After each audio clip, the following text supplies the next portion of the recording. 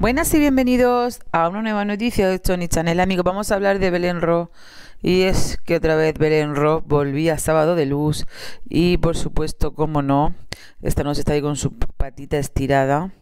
Porque claro, están criticando a Terelu y está su amiga Carmen Borrego y tanto Guido Hernández como ella pues van a ver si le pueden sacar un poquito más la piel y a picarla para que así en esta noche el sábado de luz pues tenga un poquito más de salsa porque es lo que van buscando.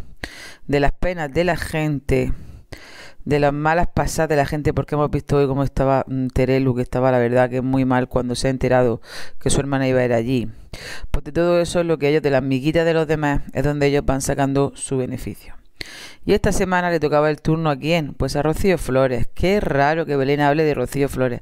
No hemos visto ni aún a Rocío Flores desde que discutió con ella en Superviviente, ni aún la hemos visto o en discutió con ella 100 supervivientes por Olga Moreno, no la hemos visto ni aún nombrarla en ningún sitio. No la hemos visto ni aún decir nada más de ella en ningún sitio. Y qué casualidad que esta mujer, cuando aparece en televisión, aparece para hablar siempre algo de una cosa de ella. Y cuando lo hace en televisión, pues lo hace por lectura, o lo hace contando alguna, alguna exclusiva, a base siempre de lo mismo, o ahora también pues en su cuenta de Twitter. Pues bien, tenemos que decir que supuestamente la gente habla de que le ha dado un buen zasca. Nosotros no vemos ningún zasca, pero bueno. Según ella, ha criticado que Rocío Flores el otro día diese la cara por Gloria Camila, dejando a su madre por mentirosa.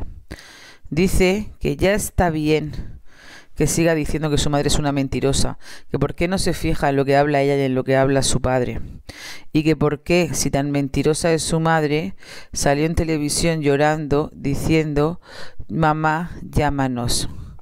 Lo decía además con tono de ironía, dando a entender como que esas palabras en ese momento no eran verdaderas y que eran totalmente para hacer un teatro. Y nosotros pensamos, si verdaderamente esta mujer es amiga de Rocío, verdaderamente no querría la paz, la tranquilidad, el sosiego, no busca más el enfrentamiento. Tenemos que decir que Rocío no dijo en ningún momento que su madre fuese una mentirosa.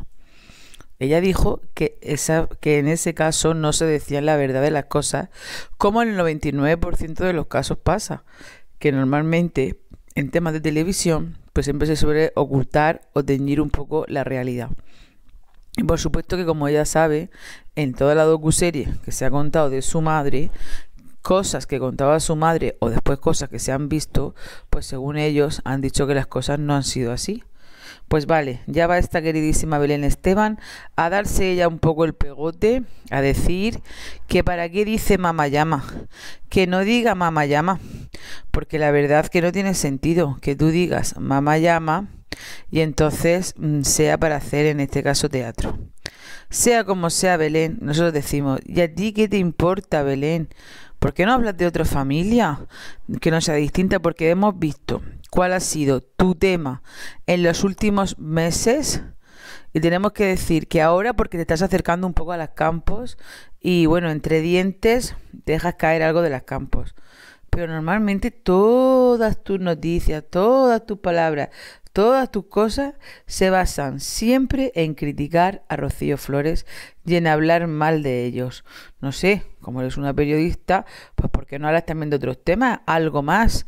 ¿O es que resulta que esto es lo que más genera en este momento de donde más se subís al carro, porque hay que ver, hija, hasta con la pata, vamos a decir la pata, que ya sabemos que se dice pierna, hasta con la pata mala te subes al carro de Rocío Flores. En fin, nosotros os dejamos que opinéis. Por supuesto que pedimos siempre de manera moderada que siempre cuando habléis por favor no pongáis comentarios que en este caso pues sean ofensivos para nadie. Vamos a hablar siempre con muchísima educación y con muchísima razón para que así nuestros comentarios siempre estén ahí y no tengamos nunca que eliminarlo. Gracias por confiar en nuestro canal. Johnny Channel, tu diario rosa.